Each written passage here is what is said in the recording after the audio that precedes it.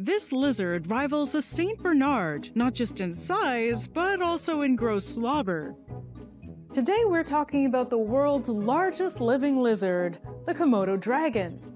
Komodo dragons are stacked to the literal teeth with traits that make them terrifying killing machines. Though they aren't usually interested in eating us, an attack from a Komodo dragon is lethal.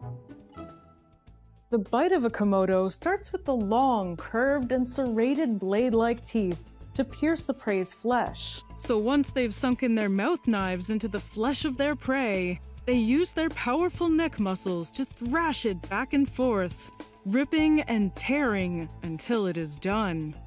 Komodo, more like Como Doom. If their prey does somehow manage to escape, the Komodo dragon doesn't need to worry. It just has to bide its time.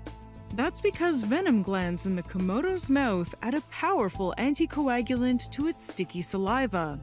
The prey will bleed out and be left for Komodo food.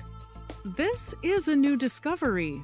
For a long time, we all believed that Komodo dragons had boatloads of bacteria in their mouths to give their prey nasty infections. This has been officially debunked.